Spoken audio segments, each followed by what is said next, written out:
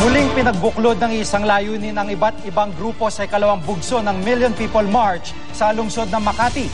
Ang muli nilang sigaw, buwagin na ang anumang uri ng pork barrel. Mas organisado na ngayon ang pagtitipon na layong mahikaya at maging ang mga negosyante at empleyado na magbantay sa paggamit ng kaba ng bayan. Live mula sa Makati City, may report si Joseph Moro. Joseph? Jiggy Pia, 8.30, no? Pasado 8.30 ng gabi nang matapos itong ikalawang Million People Power March.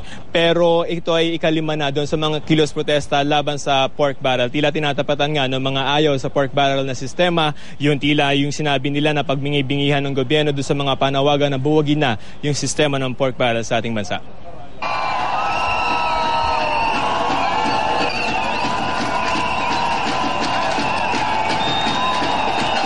Once more with feelings. Sa sentro naman ng Business District ng Pilipinas, dinala ng mga grupo kontra sa pork barrel ang panawagan ng ibasura na ito sa kanto ng Paseo de Rojas at Ayala Avenue sa Makati.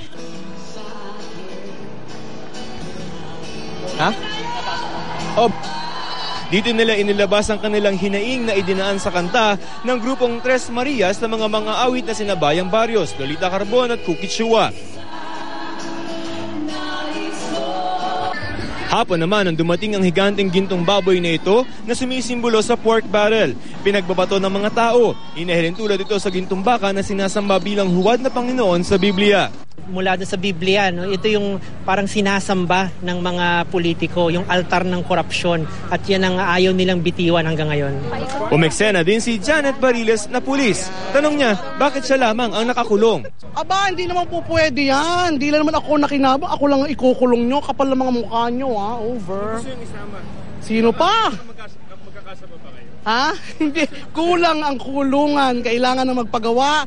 Sabi ng National Artist for Literature na si Bian Limbera, hindi raw dapat nagbibingi-bingihan ng mga leader ng gobyerno sa panawagan ng bayan.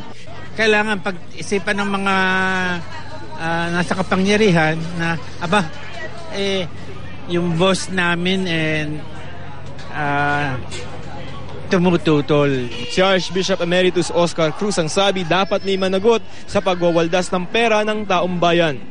Dapat isoli nila yung pera na ninakaw nila. Hindi kanila yun eh. Tama, sir. Ang dahi-dahing tao nahihirapan, dahi-dahing tao walang makain.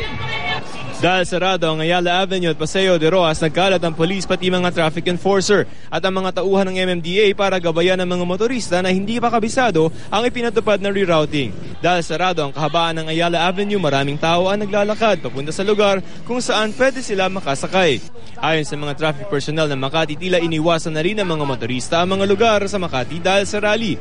Kadalasan daw kasi kapag biyernes ay maskip ang traffic sa Makati pero ngayong araw, kahit pa man may rally at isa na rang ibang daanan, hindi pa rin ito nagdulot ng masikip na daloy ng trapiko.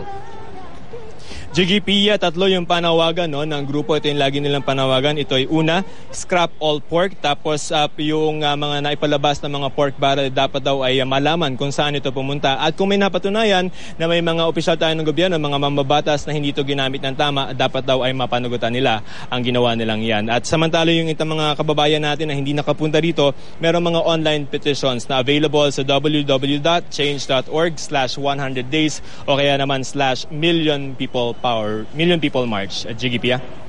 Joseph, meron ba silang plano na magkaroon pa ng ikatlong bugso ng Million People March dahil eto nga ay eh, yung mga online petitions eh nariyan pa rin. Baka meron silang balak na maghay ng isa pang Million People March.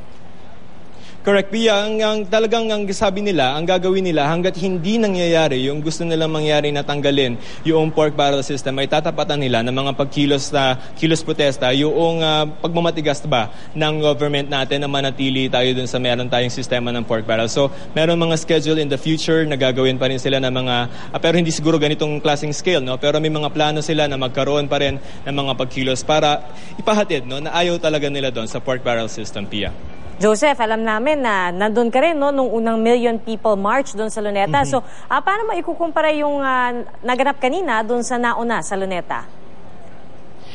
kung paghahambingin natin yung dami ng tao, no doubt, yung naunang ah, ah, pagkilos no, sa Luneta, ay medyo mas marami talaga doon. Pero yung nandito, bagaman mas konti, kung i-compare mo doon sa first, hindi naman sila nagkaiba doon sa fervor. No? Ibig sabihin, doon sa ka- kagustuhan ng mga tao na mag-participate dito at yung kanilang passion ba sa pag, ah, pagsali dito at yung pagpapahayag nila ng ah, parang mensahe na kailangan palitan na yung pork barrel system, Pia.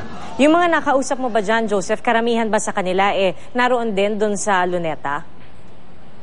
Well, yung iba nandito, no? Yung may iba dalawang beses na nag-million people hour march. Pero meron tayong mga nakita nung towards, especially nung after mga 5 o'clock, nung naglabasan na yung mga empleyado dito sa Makati. Yun naman yung target market nitong ikalawang pagkilos na to. Nakita natin na lumabas sila at nakikinig sila doon sa mga ginagawang lecture tungkol doon sa mga PDAF, tungkol doon sa mga DAP na naririnig lamang nila sa mga balita na pinapalabas sa media, no? At meron sila, naglabas sila ng mga kandila, kung nakita nyo sa video, no? Na parang ito talaga ay isyong personal para sa kanila. Lalo pa nga, at karamihan dito syempre, mga nagtatrabaho at mga taxpayer na katulad natin, Tia. Maraming salamat, Joseph Moro.